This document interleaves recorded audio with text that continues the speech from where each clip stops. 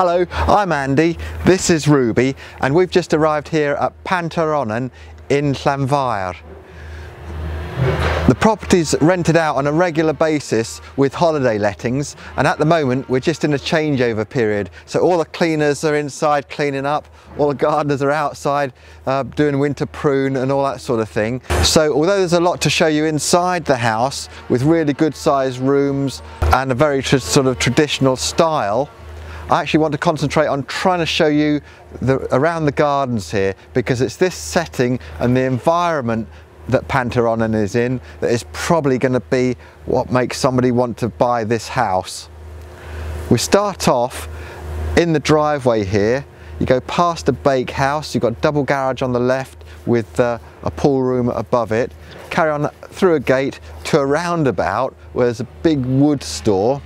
There's also uh, outbuilding there which provides stabling for two horses.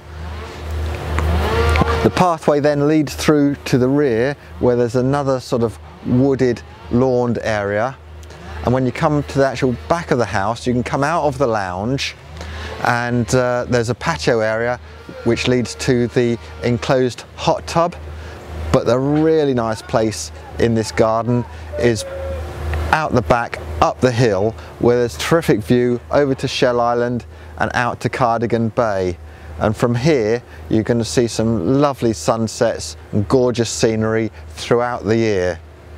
Well, I hope that this short video has given you a bit more appreciation of Pant Yr Onnen. If you'd like to come and see it for yourself, please get in touch with Monopoly Direct. Here's the phone number on the screen.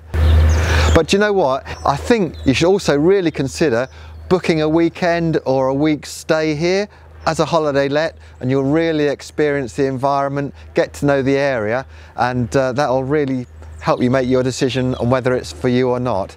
If you want a bit more information about the area, I'll put a link up at the end of this video um, that I've made all about Harlech and also the other village just down the hill by the seaside called Llandanwg.